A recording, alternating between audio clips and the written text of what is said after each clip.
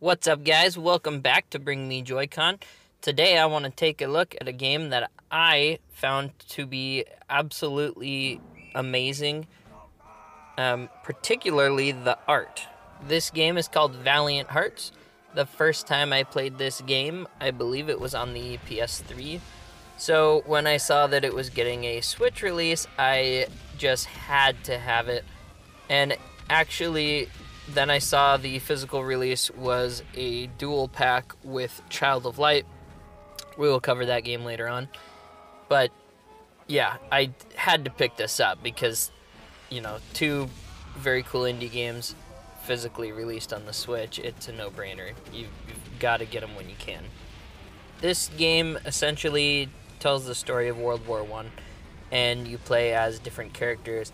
And it looks to be hand drawn. I don't know that for a fact. I just know that the artwork in this game is absolutely beautiful. The animation is awesome. I really, really like it. It's almost like opening up a storybook and taking control of it. And that to me just, you know, it just sucked me right in. I, I just, I had to keep playing and um, like I said, I originally played it on the PS3. I believe I played it all the way through. Uh, it was a long time ago. I can't remember for sure. Um, I'm like halfway through this game now on the Switch, and I will definitely be finishing it because the the story and the the art and everything just it really pulls me in. And you uh, you take control of I believe it's four different playable characters, and it tells this whole beautiful story and you have all these little different tasks you have to do. You can pick up items and throw them.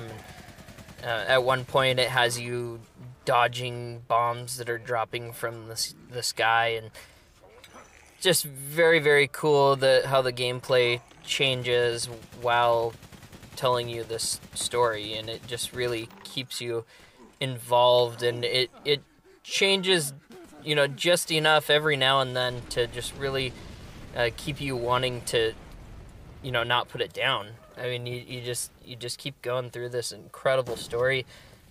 I really like that you can like pick up the wine bottles and throw them, and it's pretty cool. You can pick up grenades and and all these different things, and basically it's like a, I would almost call it a puzzle game, because you're to get through each area, you have to figure out okay, do I do I need to you know make this soup in this big pot or do I need to throw this glass bottle to distract the guards so I can sneak by or do I need to throw something at the ladder to knock it down so I can climb up it?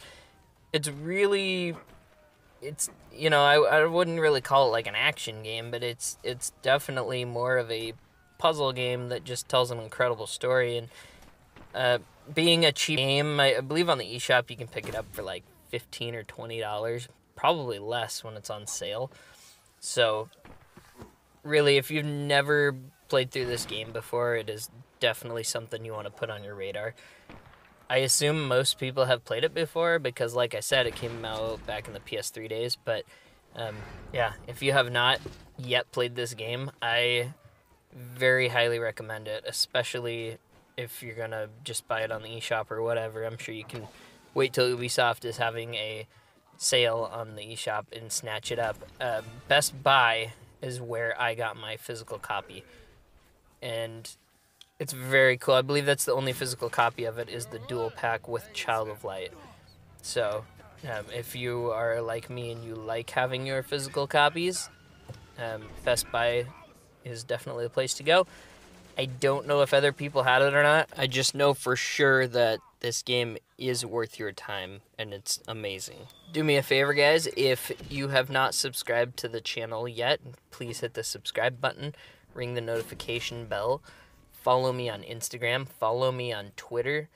Um, we're posting six days a week. We are having a lot of fun, playing a lot of games. We're reviewing a ton of games, at least two reviews a week I do uh, gaming news Monday and Wednesday. The reviews are on Tuesday, Thursday. We live stream Friday night for sure. I've been live streaming a little more than that lately, let me know what you guys think of that. Um, thank you so much for watching. Have an amazing day, guys. Est-ce que ça va Dearest Papa, we live in a climate of uncertainty. Germans use the people of Saint Mihiel as human shields against the French bombings. I hope the Germans treat you well and that your wound has healed. Your grandson sends you kisses. I sent you a picture of him. All my love. Please write soon.